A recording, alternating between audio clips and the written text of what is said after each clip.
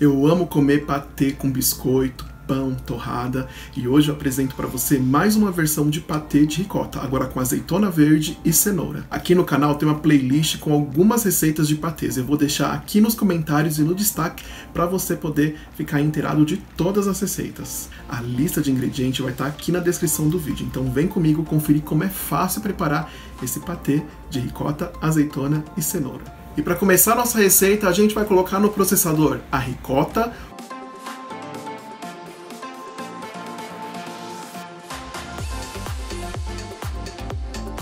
o sal,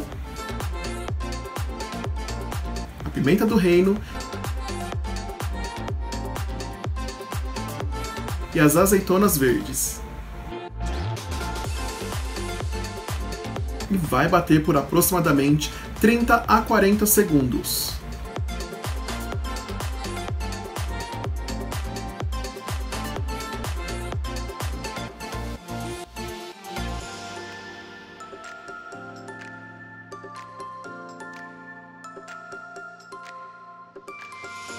Acrescente metade do leite e retorne a bater por mais 30 segundos.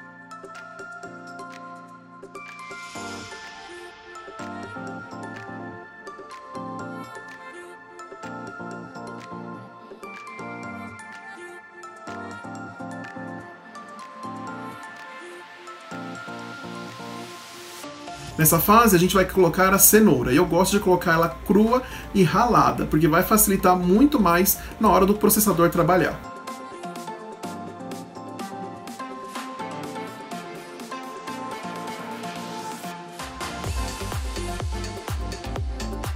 Acrescente o restante do leite e retorne a bater até obter a textura de patê.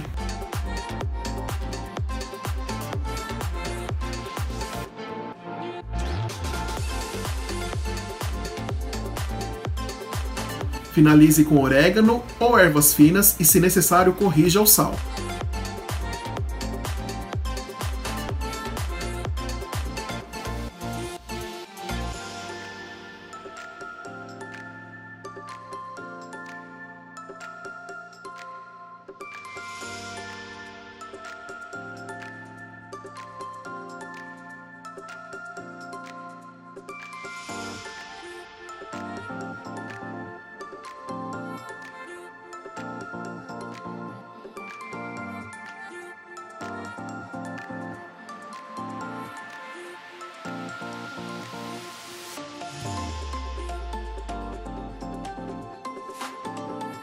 Tá vendo como é fácil preparar o seu patê de ricota com azeitona e cenoura? Seu sanduíche, suas entradinhas, sua torrada vai ficar muito gostosa depois que você preparar esse patê. Agora preste atenção, se você não tiver processador, você pode fazer no liquidificador.